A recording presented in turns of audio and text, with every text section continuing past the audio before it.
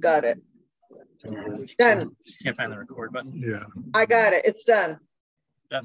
it's, it's, it's being recorded now, Yes. You may have set it on auto. possibly. Um, And also, Bill, can you tell Nick that I will take um, some notes from the chat if I get, if I think, if I remember. I'll try. Sorry, Monica, I can't hear you. I said I, I'll, I'll take some notes from the chat if I remember. I'm terrible at looking at the chat as far as questions go. So yeah, we'll figure out the questions. We'll You figure out the questions when we get there. yeah, you can just take questions from the room too. You can just take questions from the room. Yeah, we could we could do that. Okay. Anyway, out of here.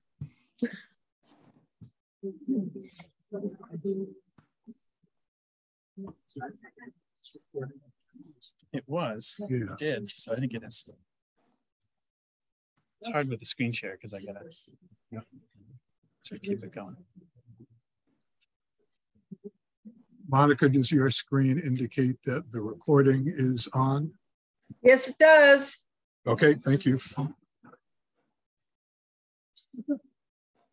So we are, we're not quite ready to start, but this program is being presented two ways. One in person to you, and also via Zoom to about 100 other people, wherever they may be. So we're, we're doing this dual technology. We're being very, we're not being risk averse. We're, we're diving in Yeah, what he's saying is you could have laid in bed for this if you wanted. Let's not let's not think about that. So we're going to allow a few minutes. We just opened up, started the Zoom online. So we're allowing a couple of minutes for people to log in. And then we'll, then we'll go. Bill, Yes, if I could, it, it's always, it would be good if you stayed in the picture when you're talking like that because okay, you got it. it's a little confusing for the Zoomers. It's like the voice of your conscience coming down from some, you don't know quite where it's coming from, but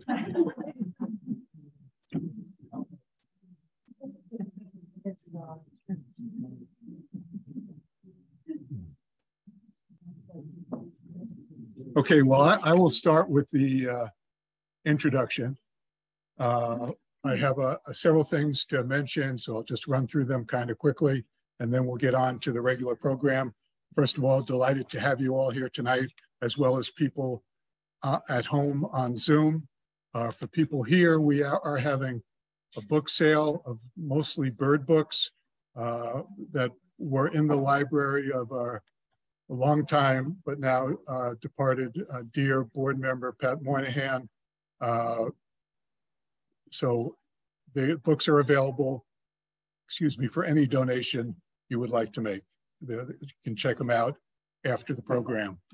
Uh, In terms of upcoming events, uh, first, uh, every year, York County Audubon and Wells Reserve do a seed sale of bird seed. And uh, it happens this time of year. Uh, We share the proceeds jointly, so it benefits uh, our two worthy organizations. Your money will be, will go to getting good quality seed uh, and also benefiting these two great organizations. Uh, There's in our newsletter and on the table, there's an order form. The ordered deadline for the early bird discount is Friday, October 28th. So you could keep that in mind. And then birdseed is picked up uh, November 4th and 5th here. So if that's of interest to you, please check it out. Information on that is also available uh, both on the York County website as well as the Wells Reserve website. Uh, Number two, uh, we have a wonderful desk calendar uh, that a former board member of ours, Marie Jordan, has produced every year. Each month, a different photograph of a Maine bird that was taken within the last year. Uh, These are wonderful items. They sell for ten dollars uh, plus shipping. Uh, Information on that is again available in our newsletter and also on our website. So feel free to check that out. We greatly appreciate any essentially donations that uh, we receive in that manner.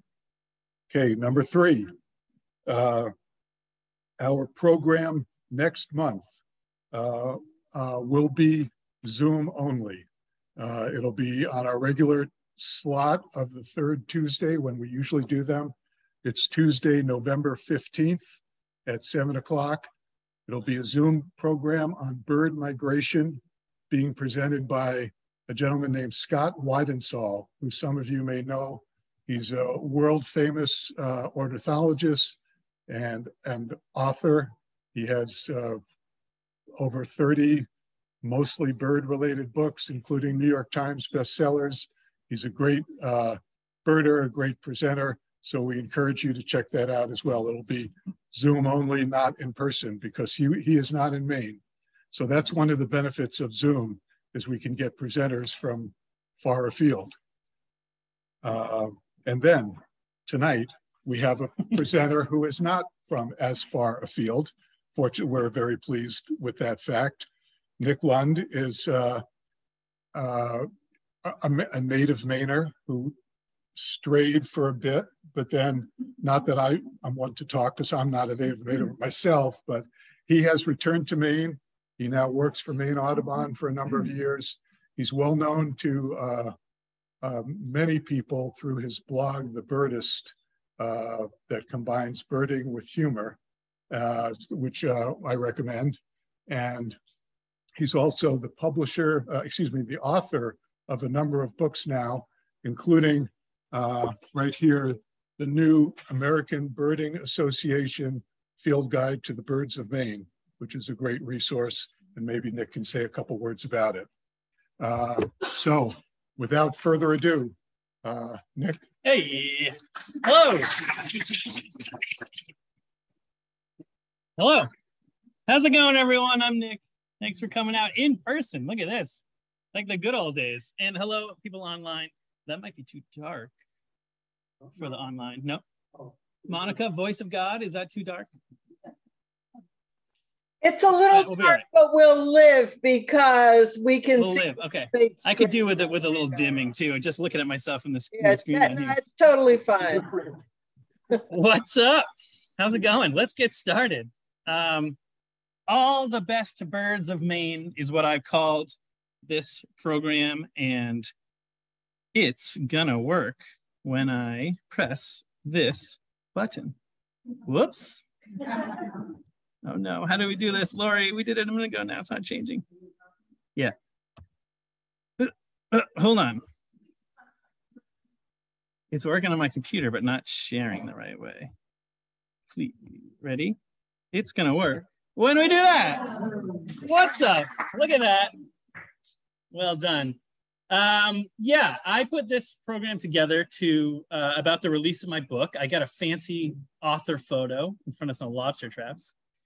Um, I almost wore that same shirt tonight, and that would have been really embarrassing. Uh, thank goodness I did. It's called uh, the American Birding Association Field Guide to the Birds of Maine. It's a Maine-specific guide to 260 something of the birds you can find in Maine.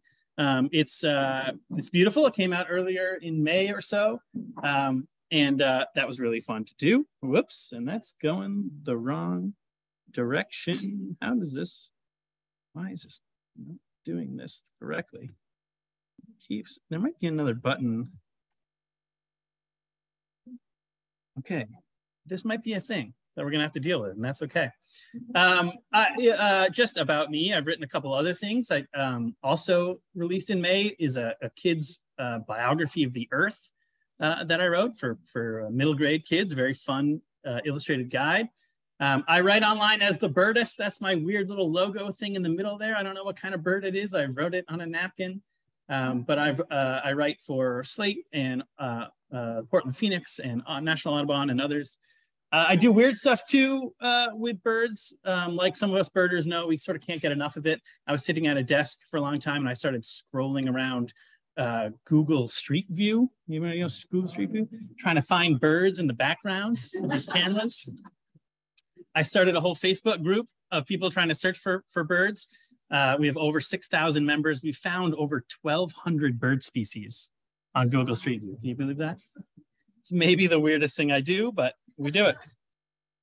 what I really love to do is go birding and talk about birds. And that's what we're gonna do today. Um, this program, All the Best Birds of Maine, this is just celebrating the bird life of Maine. It's great. Um, and I will say, I have modified this a little bit for you all tonight. This is uh, a program I originally gave for people that I didn't think knew anything about birds. So it was a little, a, gen, a little general. Uh, I get a little specific in here just for you all, because I appreciate you coming out. Um, let's get started. God, do I like Maine. I have a tattoo of Maine. I am a native Mainer. It's okay to stray. It's okay to not be a native Mainer. We're all here right now. That's the point. Um, it's a great place to live. It's a great place to look for birds. Um, from the perspective of a bird, I would say Maine has about three sort of distinct regions. This is very general, um, not super scientific. But when you are looking at Maine through the eyes of a birder, you look at three things. Start with the coast we got a ton of coastline, right? Famous rocky coast that attracts tons of birds. We have birds that nest on our rocky islands, right? So we have these seabirds that spend their entire life out to sea. They, they need to lay eggs. They can't lay eggs on water yet, so they got to figure out a place to do that. Where they go is these rocky islands off the coast of Maine. There's no predators. There's some tussocks and places that they can hide themselves out. And so um, whether it's sort of Appledore and the Isle of Shoals off the southern coast, all the way up to Machias Island, and places like that. We have famous seabird breeding islands here in Maine.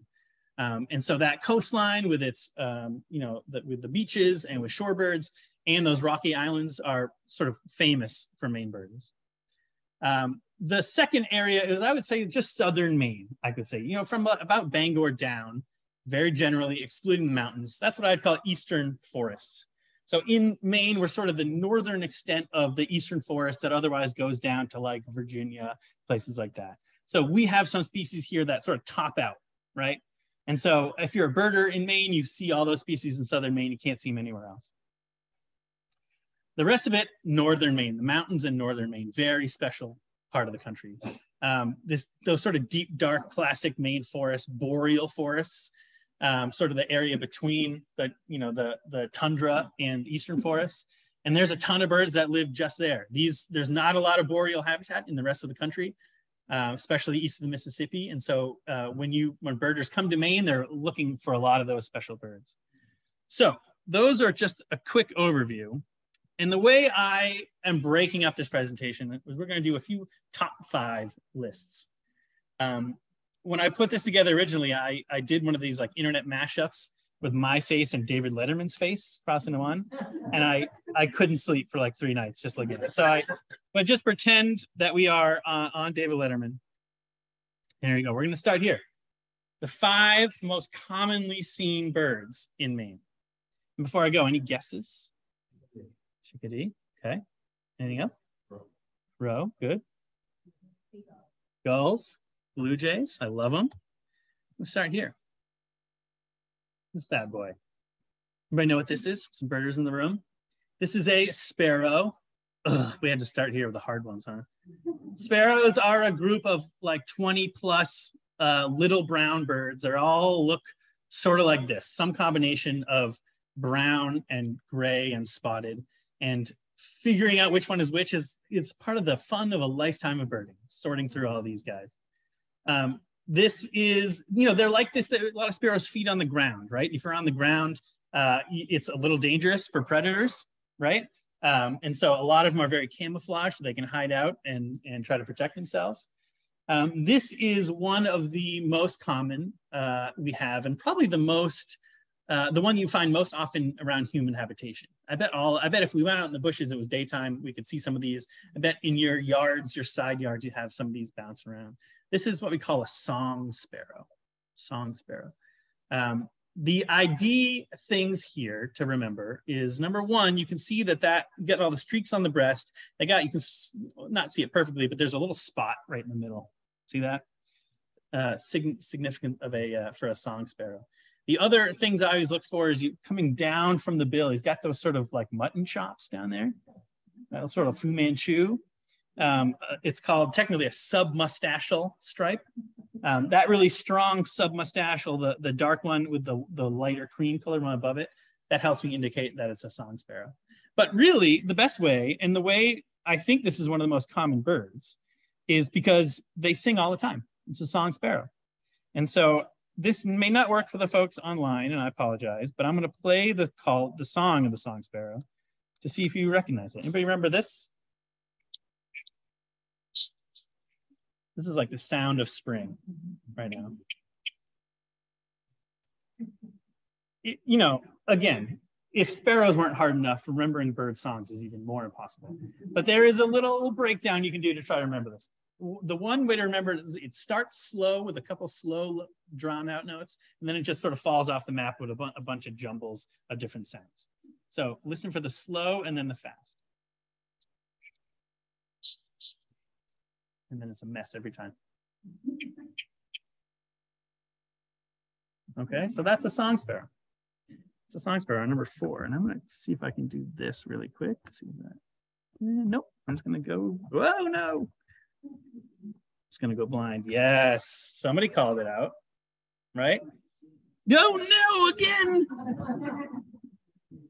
Chickadee, yeah, who? Why? Yes, yeah. I don't know why. Hey, look at that. Not a chickadee. We got some real pros out here. Not a chickadee. A gull, but what gull?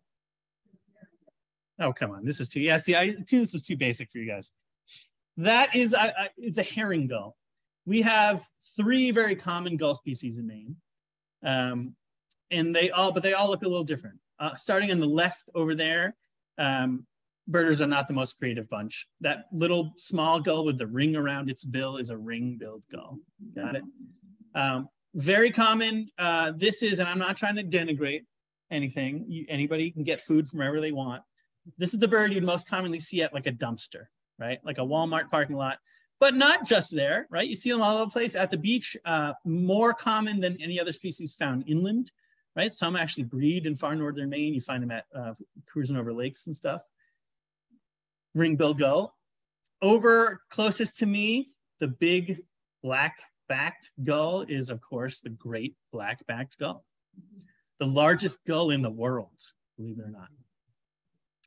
Largest in the world. Um, most rarely seen away from the immediate coast. This is the one you see like perched on uh, piers and pylons and masts and things on boats. boats. Easy to identify because it's huge it's like so big that you're like, I don't want to go over there like that. I'm like nervous. Um, and very dark color gray on the back, uh, great black back gull, pink legs on that bad boy. In the middle, uh, we get a little more complicated with names, not named after what it's what it looks like, but what it eats. It's a herring gull. Uh, eats other stuff too. It eats tons of stuff. Um, like all gulls, very very diet. Um, uh, eats a lot of stuff at the landfill. If you go to a landfill, always traditionally the best place to see gulls. Um, but herring gull is probably the most numerous, uh, most commonly, it's, com it's seen inland, it's seen at the coast, um, and uh, is our fourth most common bird. There we go. American goldfinch, uh, a stunner, a real beauty. Um, one of the most common birds in, in Maine, um, but a lot of people uh, have misconceptions about them. At Audubon, I work at Maine Audubon. Every fall, we get people calling in saying, what, where are my goldfinches? They've all gone. And what are these weird brown birds that are now on my, at my feeders? Um, goldfinch don't migrate. Goldfinch don't migrate. They may move around a little bit, but they don't sort of make big seasonal shifts like other species do. Um, they just change their, they change their plumage. Um, and I actually, the way I explain it to people on the phone, which they don't really want to, is um, in the spring, springtime is when birds uh, come to mate, right? They got one thing in mind, they have to find a mate, lay some eggs and have babies, right? Um, to do that, they gotta, they have to impress a mate, right? And so they put on their finest clothes and they sing their finest songs. It's like when we go to the prom, right? You're trying to look your best, you comb your hair and stuff. Um, and that's how they uh, impress the mates. Um, but those of us who are married know once you're married, you're not combing your hair. I'm not putting on a fancy dress anymore, right? So after the breeding season is over, once the job is done of trying to attract a mate, they're like, I'm out. I'm out of this fancy, shiny yellow clothes. Um, and they molt into the sweatpants, basically, is what they, they, they wear their sweatpants. And so um, it makes sense if you think about it. It actually takes more energy to grow these brighter feathers. They're more visible to predators when they're like this. So in the fall, when they don't need to impress anybody, they're like, I'm just going to go in, in chill mode um, and ride it out. So the birds that you see at your feeders, the goldfinches that you see at your feeders are probably the same exact ones all year round. They just look really different. Um, I mentioned calls a minute ago, and there's a very important one for goldfinches because um, goldfinches are one of the few birds, if I spell it right, that um, call, call constantly while they are flying. And if you can learn to recognize their flight call, you can really get an understanding of how many goldfinches there are all over the place. There's tons of them. And I'll give you a little trick. This is even better than the sort of slow tumble of the song sparrow. Um, the goldfinch, when it flies, it sounds like it's saying potato chip. All right, you're just gonna have to bear with me. It's gonna say potato chip, potato chip. All right, here's what it sounds like.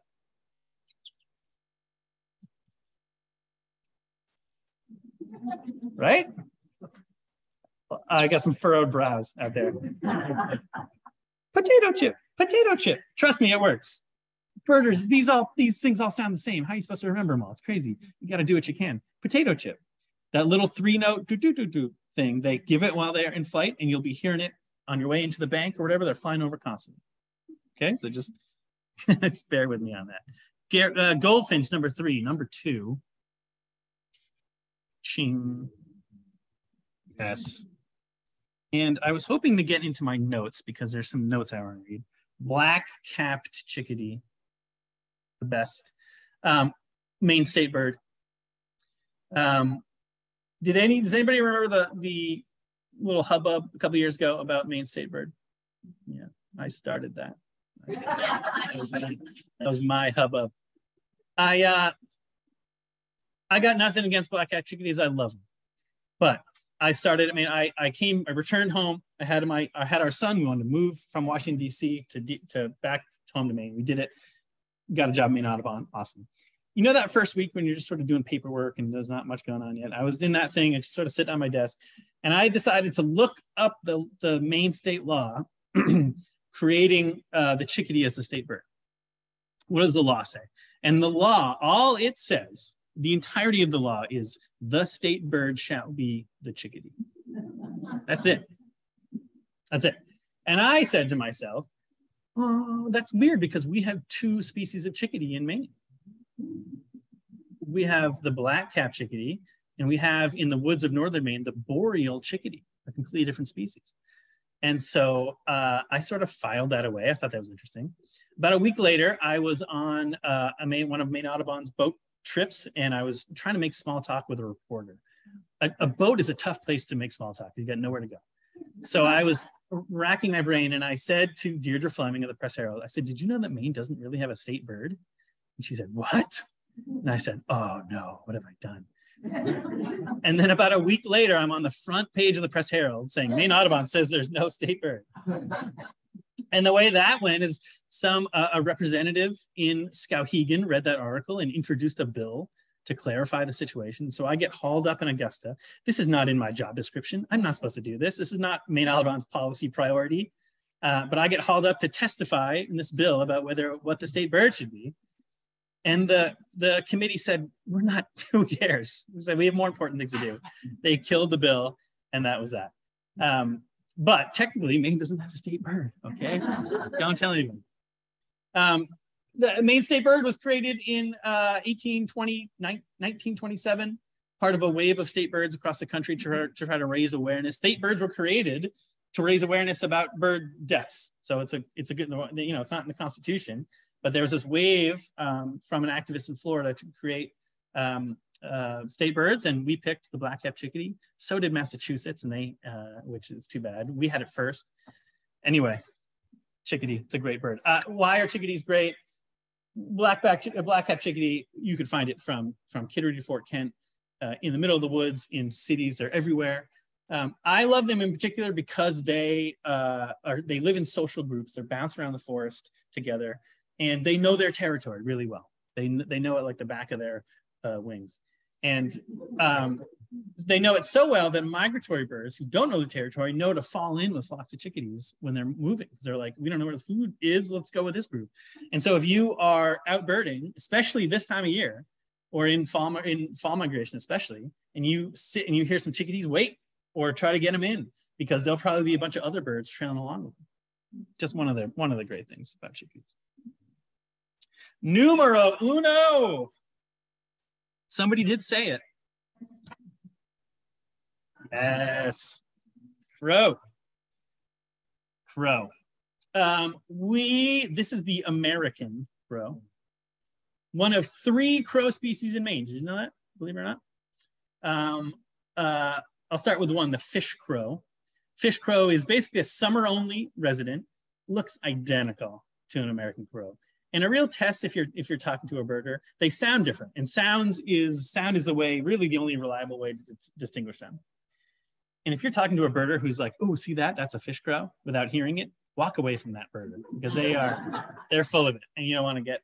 Um, fish crows are primarily a southern species.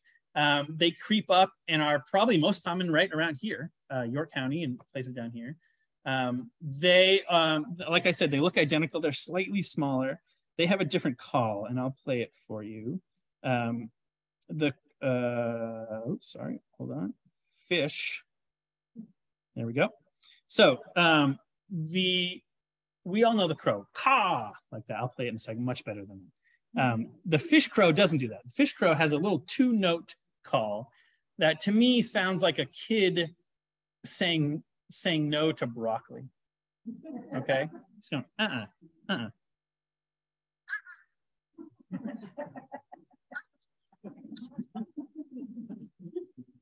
Right? So if you're out and you hear that, a kid's either trying to get some broccoli or there's a fish crow around. All right.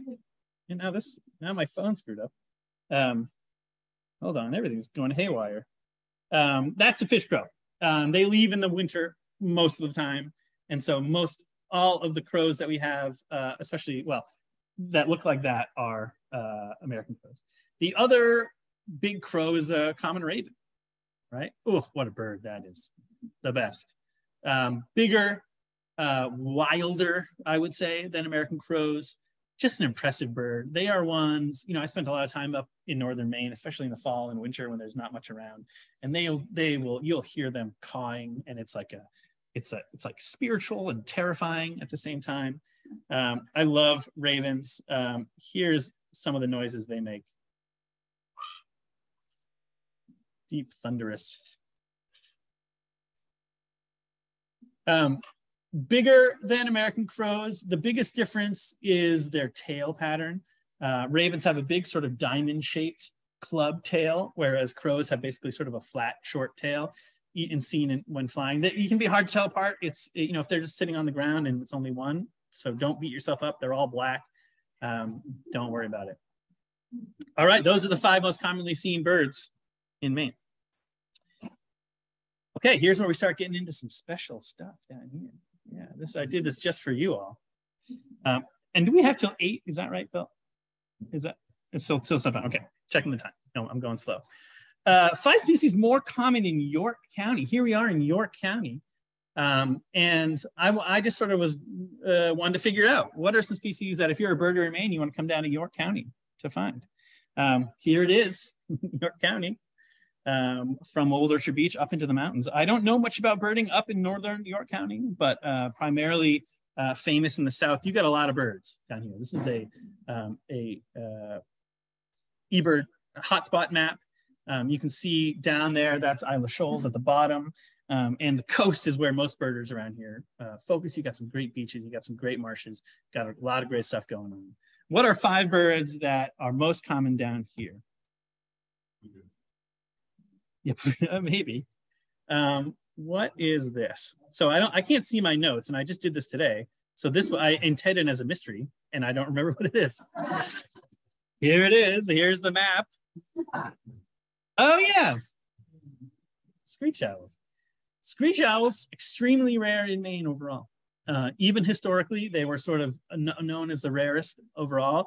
there are spotted records from the 19th century, uh, early 20th century around York County, uh, Oxford, up to Franklin, up to Washington even. Um, and they're really sort of, I could uh, just creeping back, I would say. They are becoming sort of more commonly seen in the past couple of years. I've never seen one in Maine. Um, but I know that a lot of my friends, the first one they ever saw was like in Kittery or in uh, near um, Biddeford Pool down there. Um, what a bird this is, right? Oh my goodness. Um, they come in a couple flavors, red and gray. Um, we get each, I think it's, I don't really know actually like why, you know, I think it's you know, even Stevens in terms of their breakdown, but um, what a great bird. If you are all out, the way most people hear them or, or recognize that there's a screech owl around is that you hear them. Do you want to hear it so we can be prepared? All right. It's got a sort of a hoarse whinny and then a trill. The trill is a real thing. Here we go.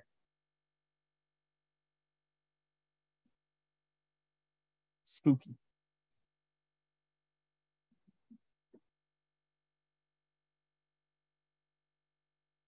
There we go.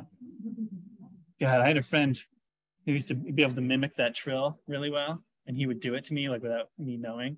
And I one time I was in this, I was like, she's laughing at me. Uh, Eastern screech owl. Yeah.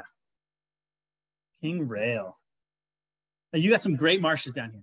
You got some great marshes. Um, and uh, Rachel Carson National Wildlife Refuge is world famous uh, for the habitat it protects. And for a couple years, there was a king rail that was uh, in those marshes. I again didn't see it. That's maybe a theme of some of these is that I didn't see this.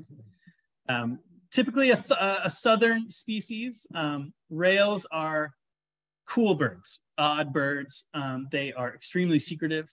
They are uh, super thin and they live their lives skittering among reeds. Um, they don't like to be seen by anybody. That term thin as a rail comes from these birds. That's what that that's where that comes from because they're so skinny they squeeze between the little reeds and you wouldn't see them. Um, that leads to sort of their mystique a little bit um, because uh, um, they're just so hard to see. So you could walk by them all the time, but you wouldn't, but you wouldn't see it. Um, this one or more than one was around for what 16 to 2016 2018 i'd say is that right i'm looking at bill and uh, a very cool very cool bird one that was only really only ever in york county this is the typical range the king rail see it sort of um, peaks uh, peaks its way up there but not quite and again i'm flying blind on the slides right now i don't know what's coming next um, I couldn't do sort of York, York County's specialty birds without getting into Sanford Lagoons, Sanford Sewer Lagoons, whatever you want to call it. Um, what a remarkable place. One of the fun, I love being a birder for a million reasons. One is that because you just go to places that other people don't go, right? Some people want to go to Disneyland. I want to go to a waste treatment facility in Sanford, right? But that's where the birds are. You know, if you think about it, uh, a waste treatment plant is incredible habitats, giant ponds with no people around, no boat disturbance, anything like that, a bunch of vegetation and being left alone. And um, Sanford Lagoons is famous all across the state for uh, the birds that turn up there. It's incredible habitat. Um, and you can see 2,300 checklists down there. Um, um, couple of the specialties, I've seen both of these here. It's probably the best place in the state to see both of these birds, ruddy duck and common gallinule over there, um, which has bred a couple of times in the state, but um, most common at, at Sanford. All right, now this guy's The, the, I think, specialty of York County is a bird called an appledore gull. Anybody heard of this before? No? You haven't either? Oh, oh, oh. Um, uh, well, so Isles of Shoals are the are the little um, group of islands that is on the New Hampshire Maine border down uh, down south of us. And uh, being a rocky coastal island, it gets its fair share of seabirds that breed out there. It's famous, including gulls. And um, in the 2000s, uh, it was the first known area of hybrid hybridization ever between a herring gull and a lesser black-backed gull famous gull nerds, and they are and they are nerds. Trust me. People who really love gulls were beside themselves with this and this the, the offspring of this bird, these birds kept coming and reproducing for several years, were called Appledore gulls. And they were being banded by the folks on the island and sighted all up, and, all up and down the East Coast of the United States. So you could find them everywhere and track their progress. Um, lesser blackback gulls don't breed here. So this is lesser blackback gull breeding range. That's the orange, right? The blue is their wintering range. They sort of spread out far and wide. They're always less common than other gulls. It's always sort of exciting when you see them. They look like, remember the great blackback gull I showed before? A smaller version of that. They're as small as a ring-billed gull, but they have that dark black back, and most of the time they have yellow legs, which is a good tip-off. Um, and you can see they, they winter here, they winter along the coast. Um, I saw one the other day in Maine, but they don't breed here, except this one. You know how love is, you know? I don't know. I don't know. He just was he was here in the winter and said, "I'm just going to hang out with this this sweetheart." So I don't have a better picture. Um, um, but uh, Appledore gull sent shockwaves through the birding world, and is I guess the only endemic York County species that there is. Not bad. It's not a species; it's a hybrid, but still, you know what I'm talking. All right. Uh, oh, there it is on the. That's it on the on the the one over there. As if gulls weren't hard enough now you have hybrid gulls. Um, that that's so you know this is a herring gull here. You can see how light gray its back is. You see how that, which is the hybrid offspring of the lesser black-backed and the, the herring gull, slightly darker. gull people are maniacs. Again, if you meet a gull person, also walk the other way. They go to landfills in the winter and just look at the, and they get so excited about the difference of shade of gray between them. Stay away from them. All right. Ooh, but we're going to get even more local. Yeah, baby. This place where we are right now is an incredible bird hotspot. It's amazing down here. Um, and um, I get into it a little bit later, but vagrants, rare birds, uh, gets birders' hearts pumping, right? Uh, there's basically there's two kinds of rare birds. There are birds that are just uh, there are fewer of them, or they're harder to find. So like um, owls, right? There are owls around. They live here. They're supposed to be here, but because of their habits, they're you don't see them that much. So that's a rare bird, right? Cool. The other rare bird is the kind that doesn't live here that shows up here, uh, and that's one of the joys of birding because birds do that. They can just fly. You, you know, zebras don't just like swim across and use a zebra, but birds can just do whatever they want, right? And they do, and it's so exciting when you find a bird that's out of place. Um, and Laudholm has a ton of those. And so I picked some of the, I, I just did this not scientifically, but um, five of the best birds that have been seen this in this spot. Uh, 200 of the 267 reported here, it's actually more than that because there's a bunch of different hotspots for the farm here, but this is a hotspot. This is a really great place to bird. You got the fields, you got the beach, you got the woods. Um, this is a real attractant. Okay, yeah. 2018 hooded warbler, female hooded warbler. Um, does not breed in Maine, not a bird that lives in Maine, um, but occasionally, this was in May, so this is what we might call uh, the reason for this bird to be a vagrant was it overshot, right?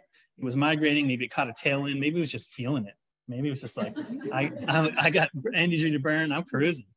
Um, this uh, hooded warbler, hooded warblers don't breed too far away. You can find them in Western Mass breeding, um, but I've never seen this bird in Maine. Very rare up here.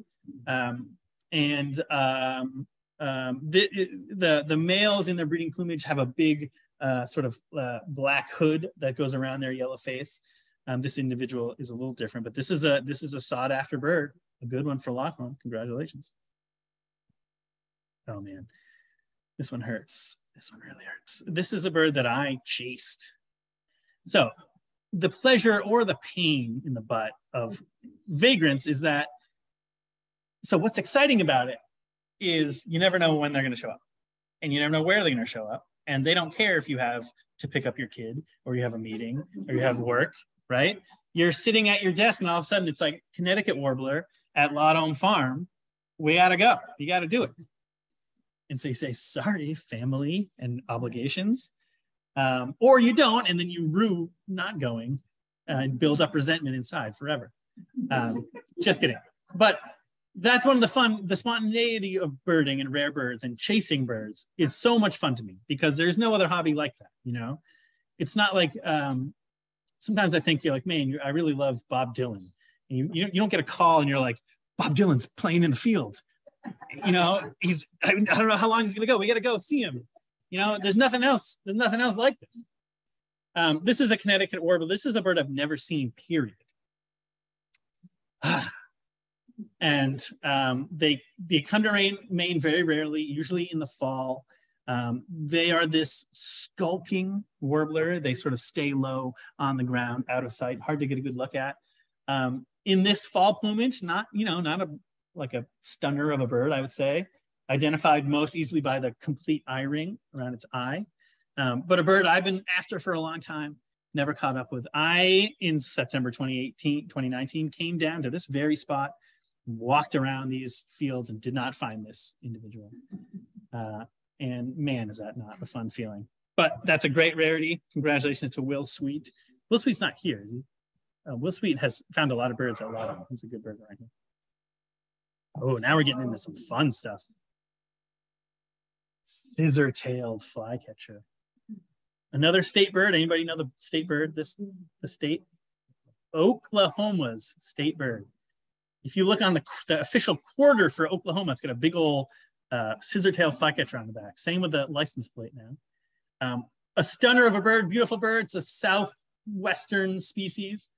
Um, it's a it's a flycatcher, uh, but it has a super long tail.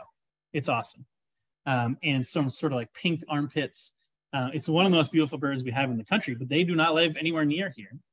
But as flycatchers do, migratory flycatchers especially, they often show up in weird places. And in 2014, um, this one showed up here. Uh, this is a picture from Andy Aldrich and seen by Scott Richardson. I was not here at the time. I have seen scissor-tail flycatcher in Maine. I saw one in Brunswick um, at the airport, which is not as cool as maybe this viewpoint was. Uh, but this is a really good bird. And this is one that um, even non-birders, you know, you show a non-birder the Connecticut warbler, they're like, uh, okay. You show them this, you're like, I get it. This is that's a beautiful bird. Very cool. Awesome. Um, little egret. This is a little egret. Um, little egrets are um, this is the this is the number two rarity. Uh, little egrets. When I you know hooded warbler breeding in Massachusetts, that's okay. Um, this hood, uh, little egrets live in uh, Africa and Europe.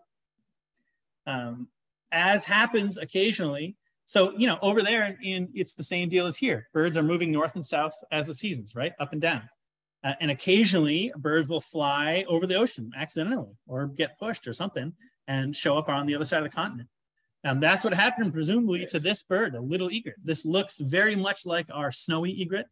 Um, and uh, in the outside of the breeding season where they don't have those two big head plumes, they're really hard to tell apart. Um, the, there's a difference in the color of the lores, which you got to like get right up to them to see. Um, but in the breeding plumage, they're pretty easy to identify because they be old dangling um, head feathers. Um, so there are a couple, a bunch of records in Maine of uh, little egrets. It's pretty cool because they uh, got blown off course somewhere between Europe and Africa and are just like, I guess I just live here now. You know, they're not like, I got to get back. They're like, I'm just going to do this and we'll be fine. Um, and they are. Um, there's uh, been one or two, it's hard to keep track because they're breeding with snowy egrets and making offspring that are, are they could be either one, it's hard to know, but there are either you know purebred or hybridized uh, egrets at Gilsland Farm in Falmouth, Scarborough Marsh. And These are birds that are just they're just making the best of the situation that came to them. Pretty cool. Um, and this was just 2021. The number one bird as I was looking through is this bird. Um, this is called a white-winged tern. Um, this is an extremely rare bird. Um, I've never seen one in Maine. I don't know if there's been any in Maine since I was a birder. Um, may not look like much. Terns are terns are some of my favorite species. They are like gulls without the attitude. You know, they're not they're not stealing your ice cream or anything. They're just bounding around, being beautiful and small. Um, we have a rare, fairly rare breeding bird in Maine called a black tern. Um, um, this is its old world counterpart. Um, this bird lives again in Europe and Asia. Uh, a white-winged tern, you find them breeding in in um, in Google Street View. We found them in Russia, um, and they are a, st a, stunning bird. They are sort of a jet black body with this beautiful white wings, and they fly, and it's this uh, really sort of unique patterning for any bird. Um, one showed up here on the beach. It was here for just a couple days. Only a couple people saw it in 2003. Um, this is a bird that I would have, you know, sometimes I think about being a chaser, like, like I'm not going to leave my wedding, but like, where, what other thing would I, you know what I mean? Like a friend's wedding, would I leave that to chase a bird? I, you know, you got to think about these things. All right. Um, so we're running out of time we're running out of time, so I'm just gonna have to skip. I'm gonna have to skip a couple of these. Um, I just want to make sure I have time for questions. Um, so we'll just skip a couple of those. So we did the five most common birds. I'm going to do the, some of the five rarest birds. Five rarest birds. Yes. Uh, love them. Love them. Any guesses? Puffin. Atlantic puffin, uh, the pride of Maine. Maine is the only state in America that has breeding populations of Atlantic puffins. These are, I mentioned at the top, uh, Maine is famous for its coast and its rocky islands. That's what these uh, birds are doing. Um, they spend their entire lives out to sea. Uh, it's, it's crazy when you become a birder and you realize how many birds just don't, just are bobbing around the ocean or flying over the ocean all year long. And the only time they come to shore, the only time they touch rock or grass is when they need to lay eggs, right? Uh, and that's what these puffins are doing. They spend their whole lives out to sea, diving down, catching fish. And then when it's time to lay eggs, they're like, I need to go to a place that's safe. I need to go to a place that is close to some fish. So I'm going to go find some offshore islands. And, uh, and they do, they come to Maine. Um, they live in burrows, so they burrow into the into the uh, island itself and live down in there, and they spend trade off going out to catch fish and bringing them back and going back out. Um, they uh, let's see, um, here we go. Um, they breed sort of um, in the northern Atlantic, so they are more common as you go up into Canada and around, and even down to uh, the UK, places like that. Um, but Maine uh, is has its southernmost breeding colonies, including Eastern Egg Rock, uh, Matinicus, Petit Manan, places like that. Um, you know, we're watching them very carefully in Maine. As you may have heard, the Gulf of Maine is changing very, very quickly, and the, the food species for Atlantic puffins and a lot of other birds are shifting. And so people are watching that very closely to see if uh, puffins will have the food they need to continue to live in Maine. Um, they had a good year this year. I do know that much and we're going to keep watching it and keep doing what we can to, to protect the Gulf. This is a real niche guy here. Anybody know this bird? This is a bird called a Bicknell's thrush. Bicknell's thrush. Um, this is um, this is like a birder's bird. This is one doesn't get a lot of glory. Um, you know, isn't the most attractive, I could say, not to slam it or anything um, but is a very highly sought after bird for anyone in the United States, and a bird that a lot of birders fly to Maine uh, or the Northeast to see. They make dedicated trips to see this. Um, this is a, a thrush, so um, same size and shape as a robin, right? And we have a couple other species um, that look a lot like this. The robin is sort of an outlier, and that's it, how colorful it is. Most of the other thrush species we have uh, have some combination of like brown back and spotted belly. Uh, we have like a wood thrush and Swainson's thrush and hermit thrush. Um, this is the Bicknell's thrush. And what makes this bird so special is it um, its choice of habitat. I mean, it lives only, it breeds only at the at the tree line of Appalachian Mountains in the Northeast. So doesn't doesn't live like down in the valleys, won't breed sort of at mid-level. Uh, it breeds only on the small band of sort of scrub forest towards the tree line of mountains in the Northeast. Um, why it chooses that, I don't know. That's just its thing, but it does. Um, and uh, it has made this bird uh, not only very sought after, but that's hard habitat to get to. And it's hard for birders to get to. I got mine by sleeping overnight in the Saddleback parking lot, hiking up before dawn to the top of the mountain, and then finding them at the top up there.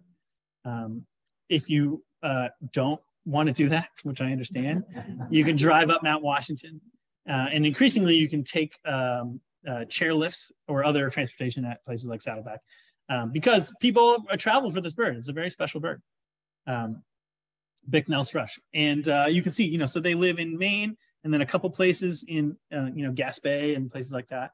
Um, but this is a bird that um, is a real tough one and one of our rarest. All right, this is a little hidden bird. I always have trouble getting this video to play. Here we go.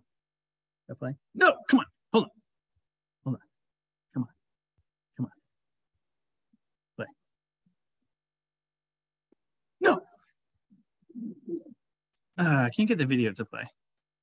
Um, this is a great video. Just imagine a really great video. well, this is a piping plover hidden in the sand. You can see it right here. Let me see this. Yeah, you know, here's the bill right here. Here's the eye. Here's butt. Here's tail. Um, piping plovers live on the beach, and um, they're like, "Hey, I uh, eat little arthropods out of the sand. I don't want to go make some fancy nest somewhere. I'm just going to live right here." and that works for them. They have evolved to be completely camouflaged, hence the, the, the tricky video. Um, they Their backs are the exact color of that sand. If they stood up, you could see that the piping, the black piping around his uh, forehead and uh, neck exactly matches the color that dried seaweed that they're in right there. Um, and they love it. They're, they're doing great, living their best life until we came along and started using the beaches differently, right? Um, you know, beach nesting birds did fine before humans came along with our dogs and our cars and our blankets and stuff. Um, and so piping plovers um, and least terns, one of our other beach nesting birds, um, populations really crashed in Maine. Um, this is another species that I could have put in the York County specialties area because they only breed on sandy beaches. And Maine only has sandy beaches up to about Popham, right? So uh, most every sandy beach down in here in York County um, has populations of piping plovers on them. Um, but they were in real trouble. Um, here's what they look like. It's sort of a weird picture. You're sort of in the middle of a scratch or something. But you can see the black piping. You can see the sort of camouflage there. Um, here we go. This is their records in York County. You can see all up and down, right? Basically every sandy beach has it. Don't worry about the different colors in there. Um, Maine Audubon got involved in the early 80s, and guess what? It works. Conservation works. Can you believe it? Um, uh, we have plover crews on the beaches um, every summer going around to identify nests, to cordon them off so predators like uh, foxes and cats don't get in. Um, work with towns to you know uh, make sure that nests aren't disturbed and they're coming back they're doing great um, this slide is out of date that's the 2015 we have uh, well over 200 um, individuals now or birds fledged now um, so it's going pretty incredibly All right. Okay. Now we're getting into this fun stuff. This is some more. So this was left over when I did the presentation, not for York County. Um, so um, this is back onto some vagrants, which just makes my, I like Pavlov when I hear that, or the dogs, I guess. Um, I start salivating when I hear about vagrants. Um, when I talk about some of our vagrant birds, I'm going to talk about some of our rarest birds. I'll talk about some vagrant birds. Um, there are different puffin species in the country. Do you know that? out in the Pacific, they have other species. And um, this is sort of, you know, it's maybe not the greatest reason why. Um, now that there's some more ice-free passages over northern Canada, there's more interchange between Pacific and Atlantic birds. And so birds that were traditionally sort of stopped by the ice are finding their way into different oceans. And that includes that dark puffin in the middle. That's a tufted puffin. Tufted puffin.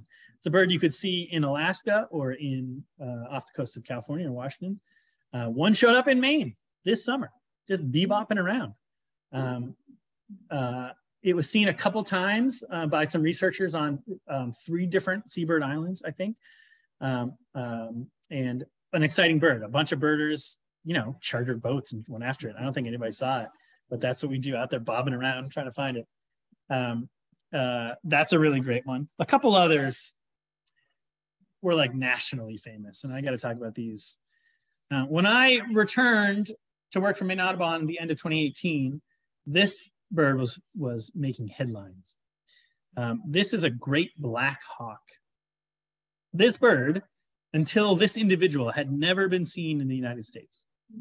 This is a bird that lives in southern Mexico down into South America. Uh, one day in uh, the middle of 2018, there was a guy at a hawk watch in southern Texas, and a great black hawk flew over his head. And he said, oh, Whoa, that's the first time anyone's seen one in the country. That's cool. Flew away, never saw it again. Then a couple months later, a birder in Biddeford Pool was looking around and said, What is that? Took some pictures, and it was a great black hawk. And there was controversy, and people were analyzing the foliage in the pictures to see if I get a little timeout. This happens in birding, by the way. People will fake a sighting people will will say they saw a bird somewhere and they'll and, and then people will go in and analyze the metadata or they'll find some palm tree in the background that doesn't live in maine people were doing that these biddeford pool pictures because it said no way um, but uh, they they not only got good pictures but they got pictures that you could compare the photos the, the feathers to see it was the same individual so that bird flew over texas and just flew to maine everywhere in between all those other dumb states didn't see it, but we saw it, baby. It was in Biddeford Pool, then it disappeared for another month. Nobody knows where it was. Till a birder on the Eastern Prom in Portland saw a great black blackhawk. And then it took up residence in Deering Oaks Park, downtown Portland, through the winter from 2018 to 2019 it was amazing. And it was a great opportunity for Maine Audubon because we brought thousands of people. We got school kids from King Middle School. We got passersby that didn't know, uh, you know, any bird from one other, seeing one of the rarest birds in the country. There were people flying all the way over from everywhere in the country to find this bird. And it was a great, you know, I've I've chased birds where you got to hike up some mountain and you're sweating. This bird, you go to Holy Donut and you go to the park and you, you're looking at this bird. It was, it was awesome. It was awesome. Sad ending. Sad ending. And many vagrant birds have sad endings. They are far from their homes. They may not know how to feed themselves in this new environment, or they may not be uh, ready to withstand the weather. This bird, you can see on that picture on the left, this is a tropical hawk, right? Tropical hawks don't need to worry about keeping themselves warm. And so this bird has evolved these very long, bare legs, right? That's fine if you live in the tropics, not good if you live in Maine or if you live anywhere where there's snow. If you think about like a snowy owl or a rough-legged hawk, they have feathers all the way down covering their feet because you need to stay warm. Um, it was a very cold winter, 2018 to 19. And after a particularly cold snap, this bird was found with frostbite on its legs, brought to Avian Haven. Uh, they attempted their best, but wasn't, wasn't able to survive. That's okay. When this happened, I thought this was the be all end all of Maine birds. Does anybody know where I'm going with this? Oh, wait, no, let me say. Oh, sorry, I can't see my slides. Um, we did a cool thing. This bird was so cool and such a story in Portland that they made a bronze statue of the great black hawk in Portland. I don't know that any, I've never heard of a statue to a vagrant bird anywhere else. honestly, honestly, it's amazing. So you can go to Deering Oaks right now, and there's a very cool statue of this bird chasing. If you go down on the pedestal, there's some squirrels trying to hide from it on the on the pedestal. Very cool. So Portland did it right. But guess what? We beat that bird. I mean, it's not a competition. Everybody wins. But I never thought any bird could top a great back hawk. Um, until this. Anybody see this bird? Raise your hand if you saw this bird. Couple? Got to. Got to. Holy moly. Um, this bird is a Steller's sea eagle. This is the largest eagle in the world.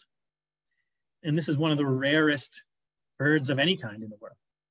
Um, this is a bird that I, that people in Maine and America knew about, but no one thought they would see it. This bird lives only in like Siberia, the, the sort of um, uh, coastal Siberia, and then down into like northern Japan, the Korean Peninsula in the winter. It goes north and south between Siberia and um, northern Japan. Um, you know, northern, you know, Siberia is not the highest on my travel list. I would love to see this bird, but I didn't think I was gonna. Right? Only about four thousand left in the world. So one of the rarest birds of prey in the world, extremely rare, but but amazing looking, huge with this huge bill honking thing, um, an incredible bird. Um, I don't know where this slide goes, so let's. Okay, yeah. Oh, this story so fun. So um, let's just recap. August of 2020, there's a birder in Alaska um, who sees a Steller sea eagle near Denali National Park. That's that's great. Um, but weird things happen in Alaska. Any birder knows that like weird stuff happens in Alaska. And there have been Steller sea eagles seen in Alaska before. They it's right across the ocean, you know, the the uh, the sea from where they are, uh, and a couple have come over, mostly on the coast. So this inland inland record, even Alaska, was was interesting. But people said, okay, that's great. What am I going to do? And there was nothing, no news until March 2021, where a guy on a boat at a reservoir in southern Texas took a picture of a Steller sea eagle. And people said, What? What are you talking about? And people said, again, there were people who went out to the spot and they, to find the snag that the bird was pictured on to see, to make sure this was a real picture taken in the United States, and it was. But as birders know, again, sometimes birds escape from captivity or escape from zoos. So we said, I don't know what to say. How did this thing get to Texas? Let's think about something else. And then in uh, July that summer, birders on uh, the Restigouche River on the border between New Brunswick and Quebec saw a Steller sea eagle. And not only that, they got, they got pictures and compared them with the Alaskan pictures to again I'd be able to identify that this was the same bird that flew probably from Siberia to Alaska to Texas to Quebec and was bouncing around. And that was awesome. But again, this was the height of the pandemic, couldn't go to Canada. Um, it was hard to find even in Canada, so very few, relatively few people saw it up there. We were all at the border. Let me in. Couldn't do it. Couldn't do it. I was uh, with Bill Graben in December of 2021 during the Christmas bird count in New York County, having a great time. Christmas bird counts, for people who do them know they're serious business. You're counting birds all day long and you need to be together as a team. Um, I got a message on my phone that said this people are selling seeing a Steller sea eagle in Massachusetts. And I said, see you later. I said, sorry, buddy. Uh, and I left. I've never done that. I've ditched the CBC. And me and a couple other people drove down to the Taunton River in Massachusetts.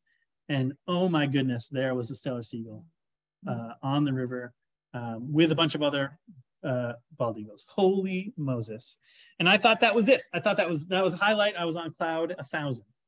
Um, but it wasn't over yet. Um, just a few days later, at the very end of the month, um, I was so birders do this. Birders try to keep track of all the birds they see in a year.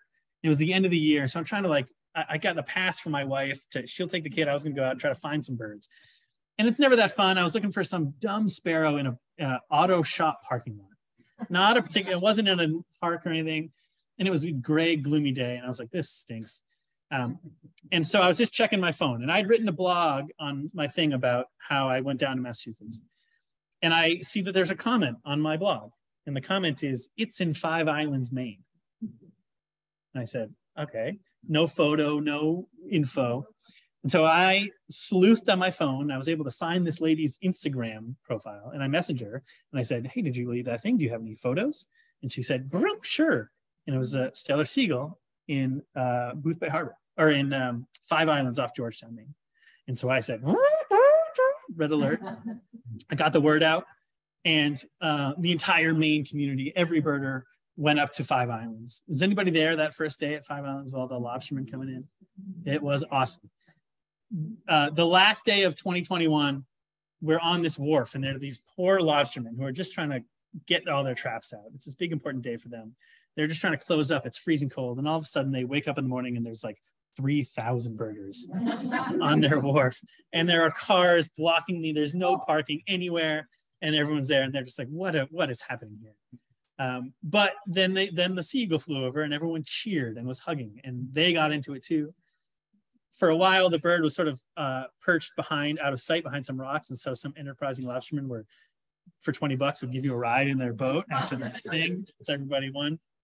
Um, that bird stayed uh, from uh, between Bar Harbor and or between Five Islands and Boothbay for months, for a couple months, and was seen by thousands of people from all over the country. Uh, again, a, an absolute dream bird. This bird does not have a sad ending; it has a good ending. Um, Steller sea eagles. If you look at a range map, if you well, right there, Maine is not that far off from Siberia, and from from you know northern Japan. So this bird is equipped to live in cold climates and has been doing fine. This bird not only survived the Maine winter, but it survived an entire summer in Newfoundland. And we don't know where it is right now, but we think, I think it's on its way back here uh, because it's doing its normal north-south migration, just in a new place, doing the best it can, uh, working its way back. And so for folks who haven't seen it yet, hang on, watch the wires, um, watch the headlines. Um, I was on live TV in Brazil talking about this bird. I was on a morning show in Nebraska talking about this bird. This bird is a phenomenon. Um, so the rarest bird in Maine. There we go. Very cool. That's all I got. Thank you very much.